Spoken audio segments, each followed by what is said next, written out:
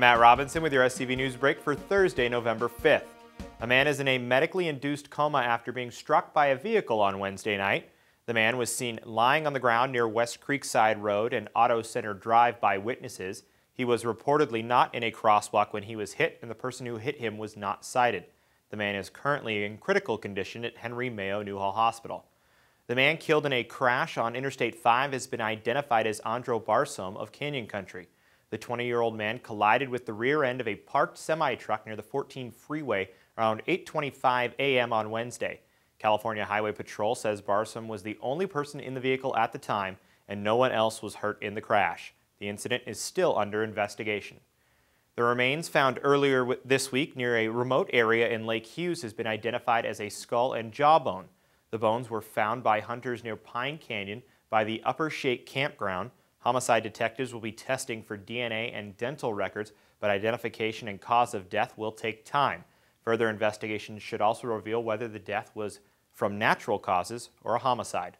We're going to take a quick break, but when we come back, we will hear about how the city will be honoring local veterans, plus Rancho Camulos Museum plans to screen a lost silent film from 1916 this weekend. Stay tuned.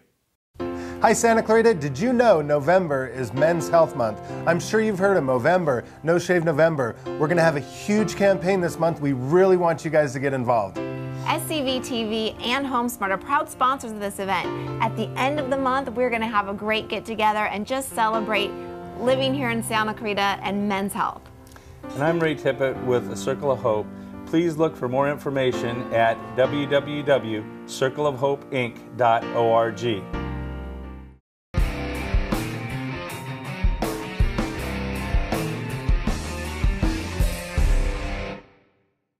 Welcome back. The City of Santa Clarita invites residents to join City Council members for a special Veterans Day ceremony honoring local veterans and their families.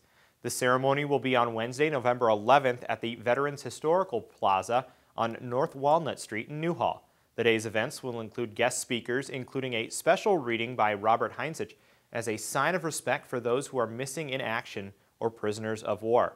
There will also be a changing of the flags by the Knights of Columbus Santa Clarita Assembly and the Vietnam Veterans of America.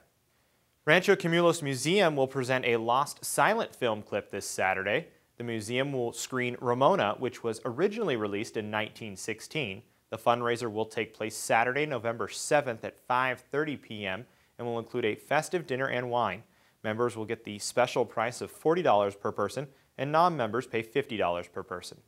Now turning to weather, temps rose slightly Thursday into the upper 60s to low 70s. Temperatures will stay in the low 40s with an overnight low of 44 degrees. As we head into the weekend, we will hit the mid to high 70s, but overnight lows will stay in the 40s. Wind is expected to pick up with gusts up to 35 miles per hour.